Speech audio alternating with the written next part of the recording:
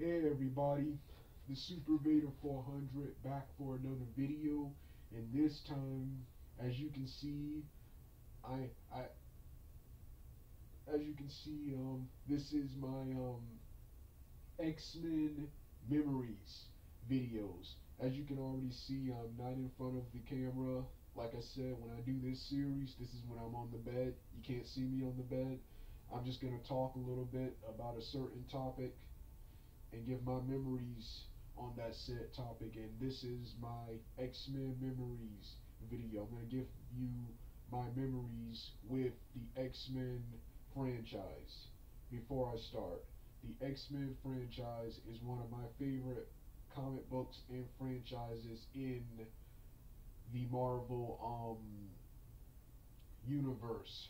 Universe. I first got into X-Men in the early 90s with the 1989 pilot, The Pryde of X-Men, and of course, the revolutionary X-Men, the animated series, which changed the way Saturday cart changed the way Saturday cartoons were made, introducing long, long, complex story arcs, something that was unheard of in Saturday morning cartoons at the time, but seen all the time in um, anime.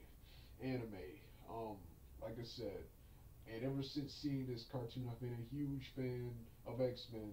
I got into the comic books in my um, I got into the comic books in my early teens, and I saw the first X Men movie when I was about 11. I saw the first X Men movie when I was about 10 or 11, and I got into the comic books in my early teens when I was about 12 or 13 or 13, and um, and ever since then, I've been a huge fan of the X Men for its large and colorful cast of characters with different costumes and different um, superpowers. Then, when when I first got into X Men, it was the large and colorful cast of characters, the costumes, and different superpowers. When I got um older and started to understand the story more, I began to appreciate it for its complex storylines featuring cultural diversity, racism, politics, and prejudice, prejudice and civil rights stuff, stuff that, that we faced in um, real life in the um, the relatable um, the realistic relatable um, characters. Once again, that's what caused Marvel to become more popular than DC in the first place was introducing realism and naturalism to this comic to to these comic book um universes universes, and it was X Men's Magneto and the Fantastic Four's Doctor Doom that redefined the villain, the bad guy, for me. For me, um, for me, every bad guy prior to these characters, or even some afterwards, these characters were either a were either a cliched mad scientist, a thug, a thug, or a um or just a stereotypical um a crazy clown like Joker or just a stereotypical gimmick bad guy. You had characters like Magneto and Doctor Doom that um my opinion redefined the bad guys. You had characters like Red Skull, uh Lex Luthor, Juggernaut, um and the various Spider-Man villains who were just either thugs or just criminal geniuses or just pure evil, but you had characters like Magneto and Doctor Doom who redefined um the villain, who redefined the villain with Magneto being a Holocaust, with Magneto being a Holocaust um survivor, and and of course Doctor Doom being hated, being on um in the United States, Doctor Doom is is considered is is um hated and, and is an um is a terrorist and an enemy in his own country of Latveria he is revered and he is a hero, and characters like the Fantastic Four are the outsiders. But I'll talk more about Doom in a Fantastic Four video or in the one of the next videos I'm going to do like this, the Marvel Memories video. I'll talk more about Doctor Doom. But um, Magneto being a Holocaust survivor, Magneto being a Holocaust survivor, and um, just um, Professor X and um Magneto. I don't think this was the intention when they were when they were writing this, but Professor X and Magneto would best represent um the real life Malcolm X. I mean the real life um Malcolm X and Martin Luther King um respectfully, whereas um whereas Magneto, because of the prejudice he suffered at the hands of humans, Magneto was militant, militant, militant, and and fear that humans and mutants can never coexist, can never coexist. Professor X was more like Martin Luther King, where he wanted mutants and humans to coexist and live peacefully, live peacefully together. And these two guys' ideologies cl- um, clash together. They don't like how you have extremely powerful characters like Mr. Sinister and Apocalypse, characters who are so powerful that they cause the X-Men and the Brotherhood of Mutants, Magneto's team, Magneto's team of um um characters to occasionally um team up, team up, seen with um other threats like the Sentinels, the Sentinels. So um so um yeah these things made me a huge fan of X-Men, but let's let's talk about the awesome characters. Um the awesome um, characters. First, you had the original X-Men series in the 1960s, which featured Jean Grey, Marvel Girl, Cyclops, the leader, Beast, Iceman, and Angel, of course. Angel, of course, who were and led by Professor X. These were the original X-Men. These guys were um, teenagers, and I wa- just recently watched a documentary from Comic Book Girl 19 119 and she said um, the early X Men series were mostly superhero villain of the week stories, but later they would um they would um dive into something deeper, take t- tackling civil rights, racism, prejudice, prejudice, and cultural um diversity. In later um issues, they were briefly canceled. They were briefly canceled, brought back in 1975 brought back in 1970 an issue called the Giant Size X-Men with a whole new team who with recruiting characters Wolverine who actually made his first appearance attacking uh, attacking the Incredible Hulk um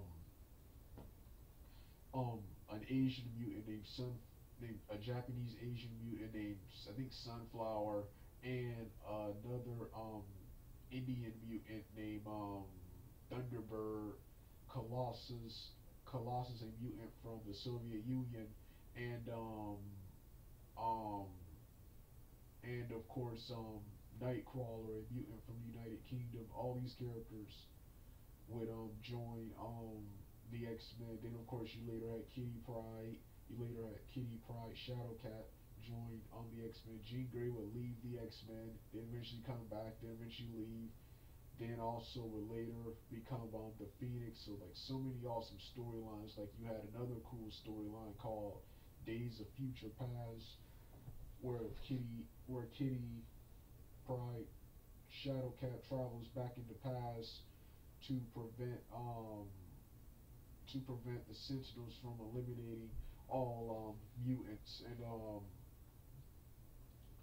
and um and um so many um other so yeah, um, yeah, characters like that. Then of course, um, you had also you had a Canadian team called the Alpha, the Alpha Flight, a, a cool Canadian team. Then of course, 90s you got the time traveling mutant Bishop.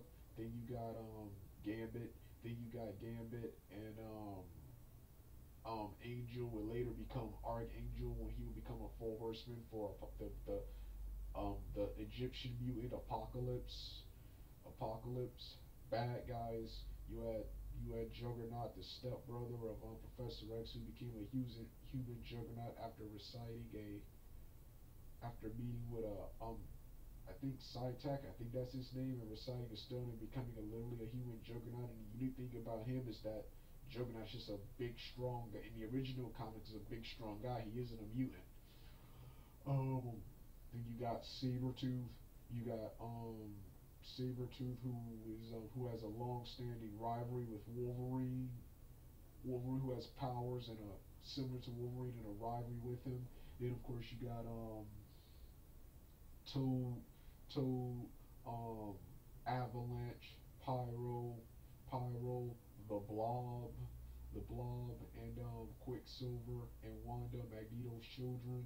Um, um, so um, um, like I said, so many um, so many awesome characters. Another cool bad guy, Eric the Red. Um, a guy in a devilish costume.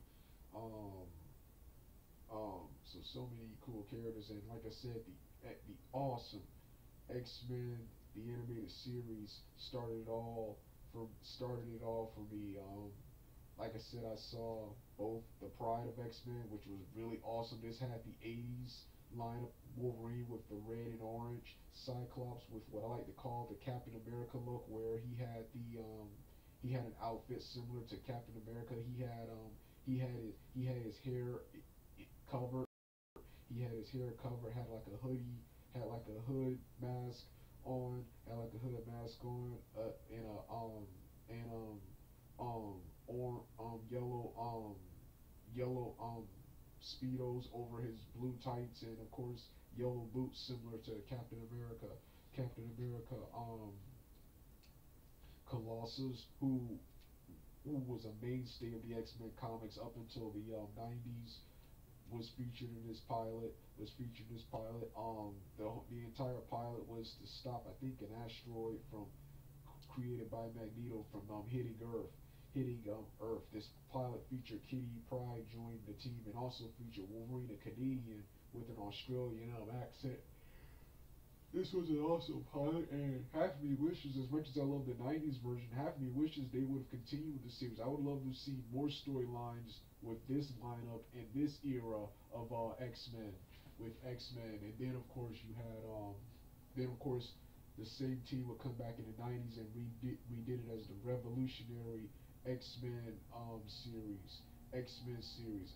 I, I, I enjoyed the entire series. I thought season one, the first couple of episodes of season two, and the entire season three, which tackled the, the Phoenix and Dark Phoenix sagas, were the best arcs of the entire series, and they and the first season tackled um, several um, specific arts, several po- several popular arts such as um, um, um, Night of the Living Sentinels, which feature which feature an original character created for the show more of who gets killed in battle, but is later but is later revived by the Sentinel to terrorize the um, X Men, to terrorize the X Men in, in um, retaliation for abandoning him.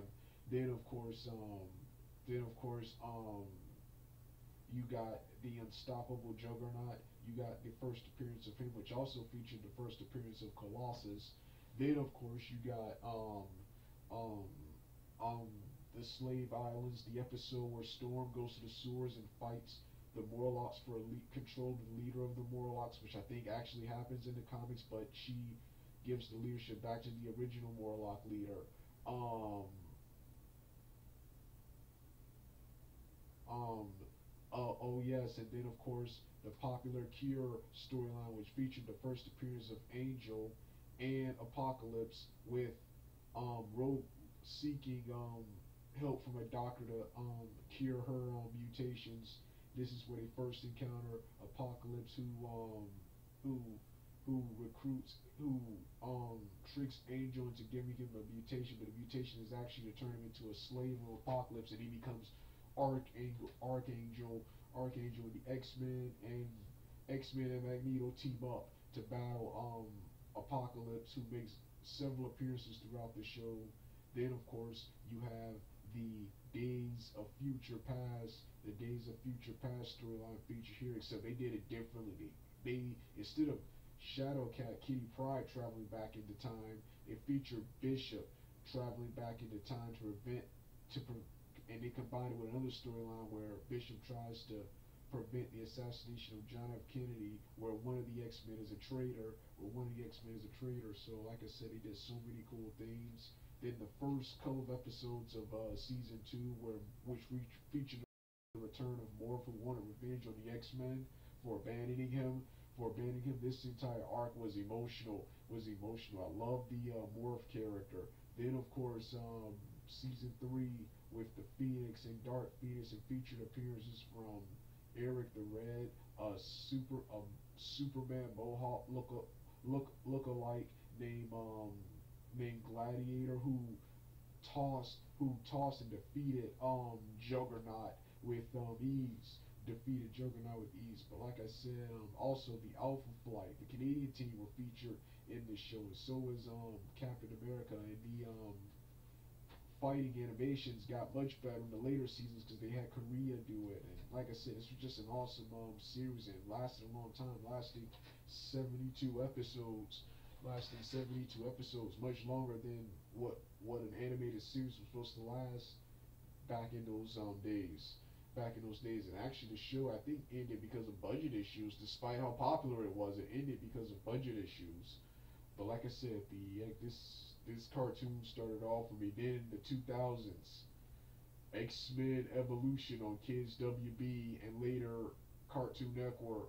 Later Cartoon Network. Um, I recently finished the series. I recently finished the series three years ago and wa- and just recently watched it again for this video and several more videos featuring the X-Men and um, series was awesome. Not only did it have better animation than the previous um, X-Men series, but it had um, more it, it had more it had more action, more fluid action, um, more fluid action, um, a cool cool anime style artwork, cool a redesigned anime style artwork, and while being a reimagining of the X-Men franchise, this series remained remain true to still in some ways remain true to what the X-Men was about and captured the spirit of what it was about and this series and the previous two series were way better than the uh, live action movies which I'm about to talk about. Live action uh, movies I'm talking about. I love how this series reimagined every character as teenagers and characters like Storm and Wolverine as younger characters and mentors to characters like Jean and um, and um, Cyclops. The only thing I like about this series was Jubilee wasn't featured much in this. Jubilee wasn't featured much in this series. I also like how this series reimagined the Brotherhood. In this series, the Brotherhood, they're called the Brotherhood, and they're antagonists to X Men for like for like the first couple of seasons, but team up with them most multiple times, including in the final battle with Apocalypse.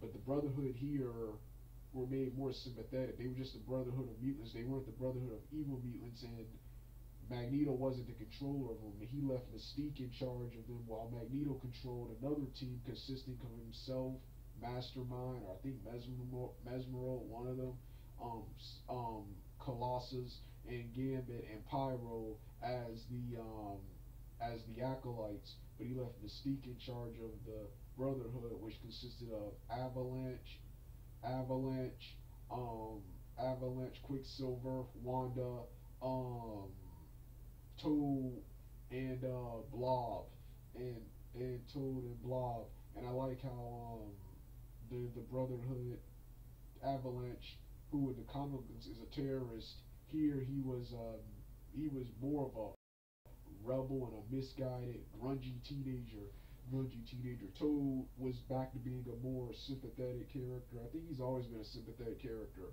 Uh, Toad, I loved um, his personality in this um, um, version. Quicksilver was awesome here. Um, so was Wanda and, uh, and Blob. Blob, while be, while redesigned to be younger, was to- totally true to his comic book counterpart, comic book um, counterpart, and um, um, what's his name? Um, Magneto was more was Magneto. Um, Magneto. Love what he did with his character in this series. Love what he did with his character in this series, and um, and um, yeah, this was much. But like I said, this was an awesome series. The first series, the first season was an introductory arc introducing you to the core characters, the core X Men and characters like Nightcrawler, Rogue, Nightcrawler, Rogue, um, um, characters who would later join the X-Men, and then of course introducing us to characters like Blob, Lance, and um, Toad, and Quicksilver, and Wanda, and of course a character created for the show, Spike, created for the show Spike. Then of course um, season two. Season two focused more on the supporting characters. I didn't like season two as much. A lot of people consider season two to be an improvement over season one. I like season one and season three the best. Where in season three, um, the mutants are no longer kept a secret. Are no longer kept a secret. Everybody knows they're mutants, and life becomes even harder for the X Men. So the X Men have to not only um, prove to themselves that not all prove to the humans that not all mutants are bad, but deal with other threats like Juggernaut and um, characters um characters um like that. And also, Professor X goes missing. Professor X goes missing, but they narrowly find him after Mystique, I think, um, when A, after she absorbs Juggernaut's powers, discovers where Professor X is.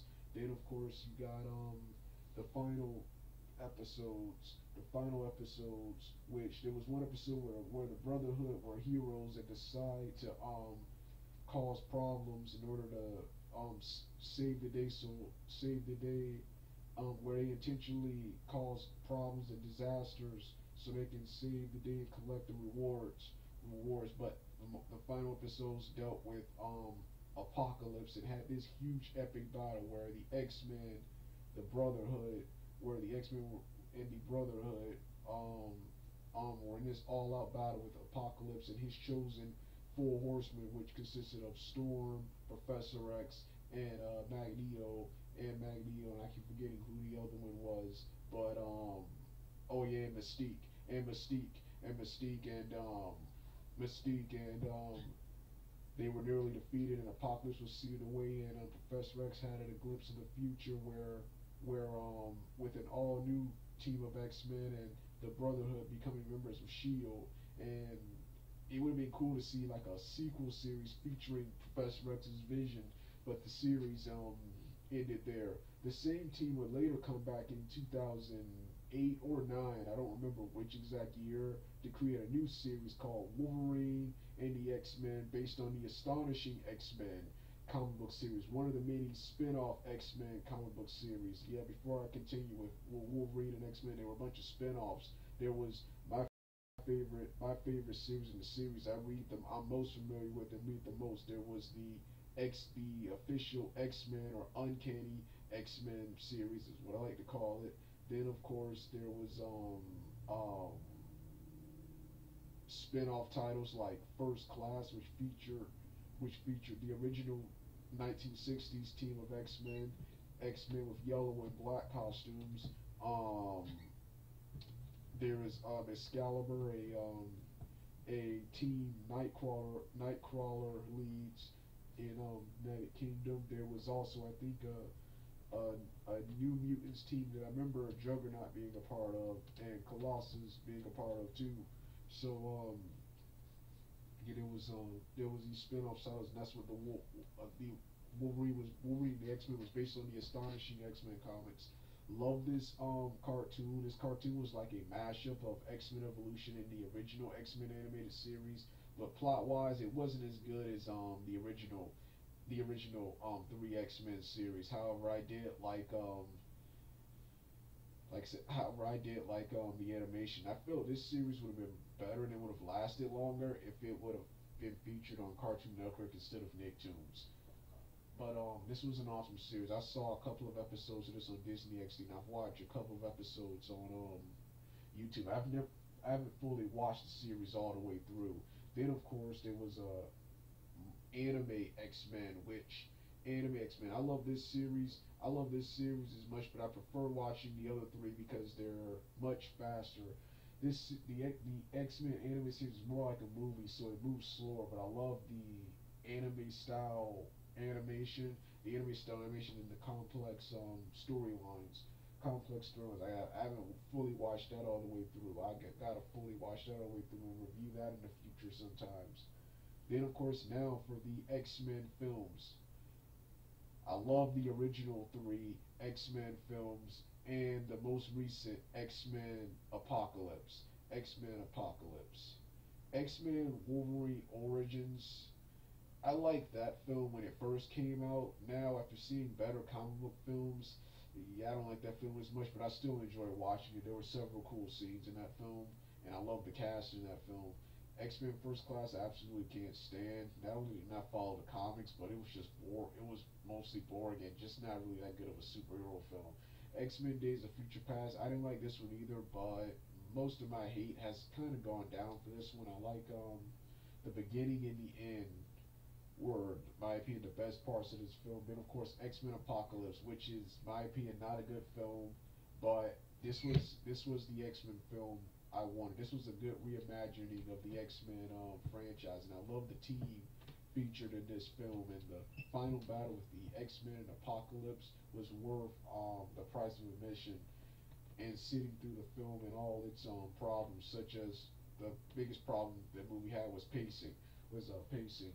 Um, like I said, um, um, the first three X Men films back when I saw them in the 2000s, I thought they were the greatest things ever.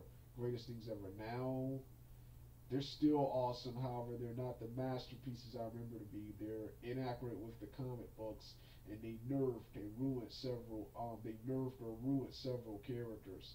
It's ruined um several characters. You got Wolverine Origins, which I liked when it first came out. Now, uh, it's not. It's not all that good.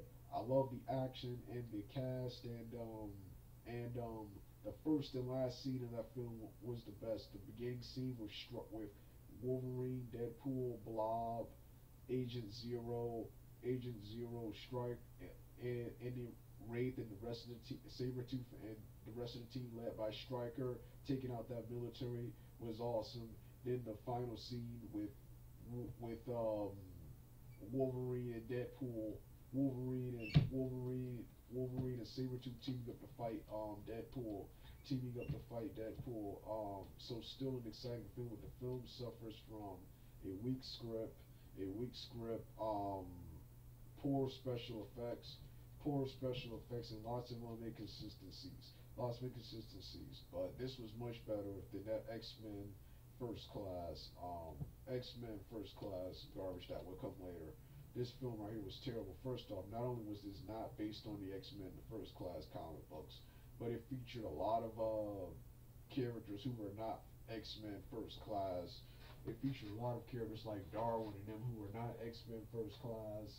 And it had Emma Frost as a bad guy. The villain portrayed by Kevin Sebastian Shaw, portrayed by Kevin Bacon, was um, terrible. It had plot holes and inconsistencies with the um, with the original X Men films, with the original X Men films, and um, film was just terrible.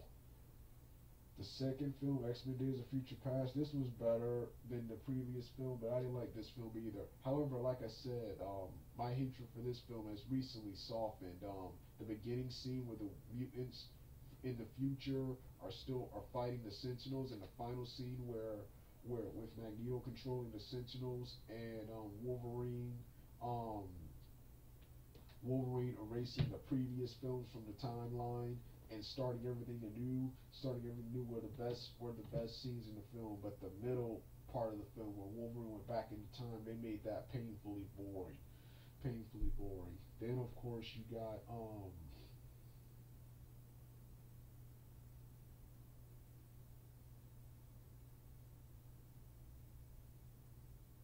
Then of course the last scene the last um then of course um then of course before but before X Men Days of Future Past, I often forget this film, but we had another Wolverine film, and this film right here, this film was this film was crap, and it was so bad I don't even remember it. The first problem I had with this film was um they screwed up uh they screwed up the mutant character Silver Samurai.